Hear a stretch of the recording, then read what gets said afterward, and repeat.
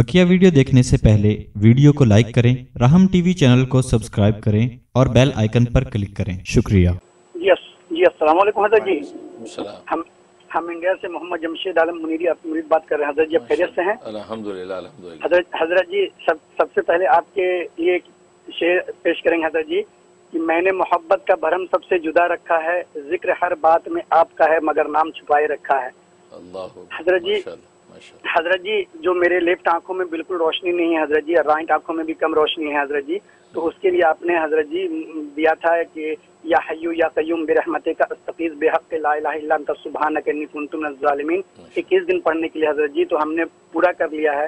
तो कोई फ़ायदा भी नहीं हुआ हज़रत जी। तो आगे क्या हुक्म है हज़रत जी वो बता दीजिए हज़रत जी। और हज़रत जी इधर एक हफ़्ता दस दिन से हज़रत जी मुझे बहुत बुरा बुरा ख्याल वसवसा आता है। इतना बुरा बुरा ख्याल वसवसा आ रहा है हज़रत जी हम बहुत परेशान है। कि आपको बता नहीं सकते हज़रत जी। तो आपकी तवज्जो की खास ज़रूरत है हज़रत जी और इससे भी बचने के लिए कुछ बता दीजिए हज़रत जी और दुआओं में बहुत याद रखिएगा हज़रत जी। बहुत शुक्रिया बहुत शुक्रिया बहुत शुक्रिया।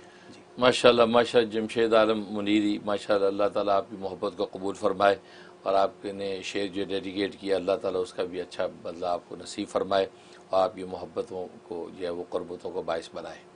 और बाकी यह है कि वो जो अमल है वो आप अभी जारी रखें इक्कीस दिन आपने कर लिए, इक्कीस दिन और करें।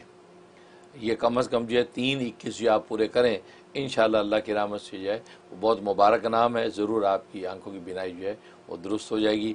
मैं भी दिल से दुआ करता हूँ, अल्लाह ताला आपको खूब बरकत अता फरमाए।